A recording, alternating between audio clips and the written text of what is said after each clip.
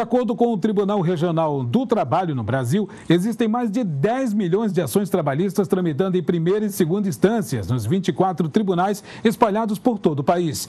A mediação e o papel do mediador como instrumento de pacificação social para reduzir os processos desses casos foi tema do centésimo quarto encontro da ABRH Amazonas, realizado nesta terça-feira no Centro Cultural dos Povos da Amazônia, na zona sul de Manaus.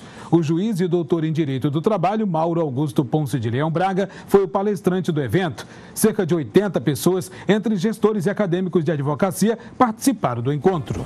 Eu sou Jackson Nascimento, TV Diário Record News Manaus, direto da notícia.